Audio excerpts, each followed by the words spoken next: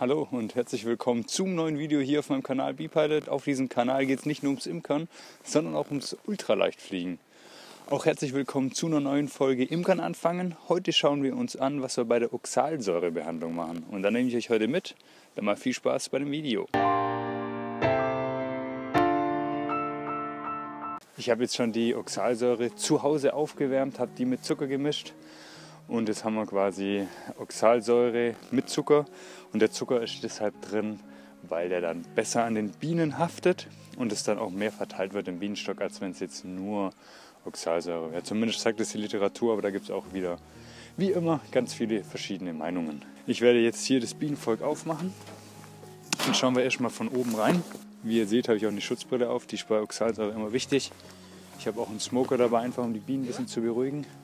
Man sieht es vielleicht, hier ist alles in Tau gehüllt. Wir haben gerade minus 3 Grad, also gute Temperatur für die Behandlung. Jetzt schauen wir quasi oben rein, wie es dort aussieht.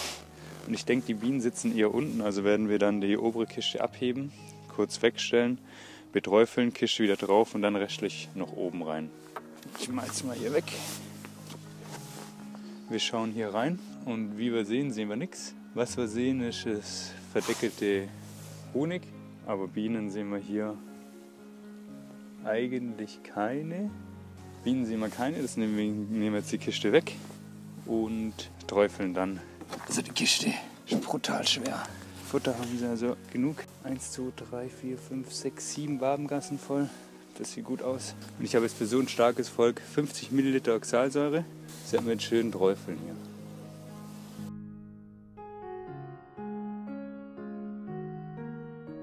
Den Rest streifen wir von oben. Also Futter mache ich mir bei dem Fall keine Sorgen. Ich habe auch von oben ein paar gesehen hier, deswegen würde ich auch noch von der Seite träufeln. Werden wir einfach alle erwischen. Das Einzige, was ich jetzt noch mache, ist jetzt vorne den Schaumstoff rausnehmen und somit das Flugloch wieder größer machen. Das mache ich auf dem Grund, weil dieses Volk jetzt ja kein Jungvolk mehr ist, das ist jetzt ein Wirtschaftsvolk. Und dann können die im Februar, wenn das erste Mal Sonne scheint, direkt raus. Es staut sich nichts am Flugloch. Manche Imker die lassen das Flugloch immer klein. Bei mir meist groß.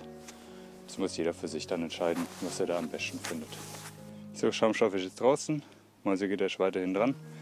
Dann ist das Volk fertig für den Frühling. Ich gehe jetzt noch weiter zu meinen anderen Völkern und mache dort die Oxalsäurebehandlung. Ich hoffe, das Video hat euch gefallen. Lasst gerne einen Daumen hoch da. Dann sehen wir uns beim nächsten Mal wieder. Ich wünsche euch alles Gute. Bis dahin. Ciao.